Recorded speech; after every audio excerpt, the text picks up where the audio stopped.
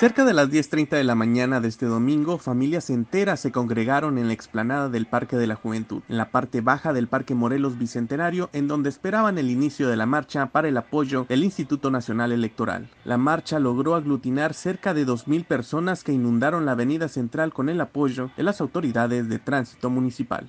Nosotros venimos atendiendo el llamado de la ciudadanía, de los distintos grupos organizados, colectivos ciudadanos, el Frente Cívico eh, Nacional, yo creo que eso e, e, es el, es el motivo más importante. Hoy se logró algo que no se había logrado en mucho tiempo, más de 105 ciudades del país, se fue el cierre el día de ayer, eh, marcharon o se concentraron por la democracia. Las pancartas con la leyenda El INE no se toca y los cánticos a toda voz sobre las acciones que el partido en el poder quiere hacer al organismo para modificarlo se escucharon en todo el recorrido del contingente.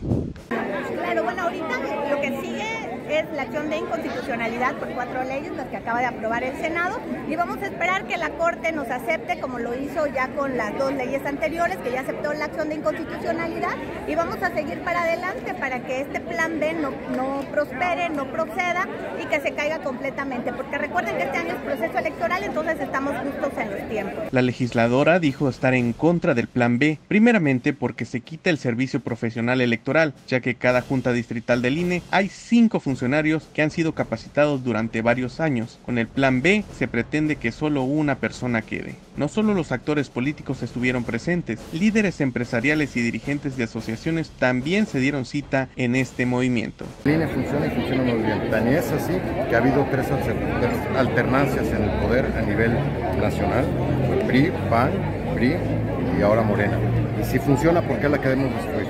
Nos preocupa mucho lo que está pasando la credencial, que son los datos biomédicos, está claro, no está claro dónde va a quedar. Hay muchas lagunas. Creemos que esto va a parar en la Suprema Corte de Justicia. Es casi mucho. Las pancartas y las lonas fueron extendidas y a una sola voz cantaron el himno nacional y el himno Chiapas, como muestra de la unidad que los grupos ciudadanos buscan para evitar que el INE sea ultrajado y se vuelva un títere más de la 4T. El espíritu sigue en pie de lucha y seguirá en siempre porque soy un amante de la democracia. Tan es así que un amigo recientemente fallecido me calificó injustamente como el peregrino de la democracia. Y el, ánimo no, sea, no disminuye. Seguimos luchando porque el INE no se toca, es una institución autónoma, responsable, que, organizan bien elecciones. El exedil Tuxtleco expresó estar confiado de que la Suprema Corte de Justicia de la Nación pare esta situación antes de que se lleve a cabo los procesos electorales en este año en algunos estados del país. Para Diario Media Group, Francisco Mendoza.